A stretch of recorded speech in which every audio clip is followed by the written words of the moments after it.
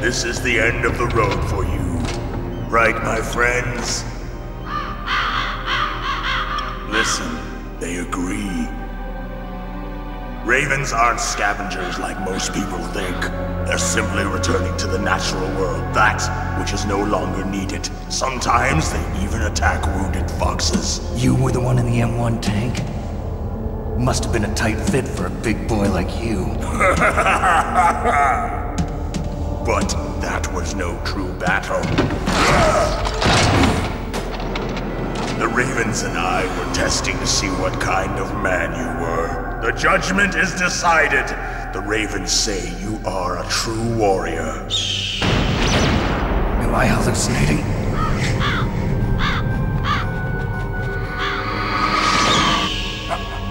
I can't move. The Raven has put the mark of death upon you. Blood from the east flows within your veins. Ah, your ancestors too were raised on the barren plains of Mongolia. Inuit and Japanese are cousins to each other. We share many ancestors, you and I. I don't have any crows in my family tree. you jest, but indeed ravens and snakes are not the best of friends. Nevertheless, you will make a worthy adversary. You live in Alaska too. You know of the World Eskimo Indian Olympics? Yeah, I know it. Must be a real threat in the muktuk eating contest. Yes, you are right. But there is another event that I excel at.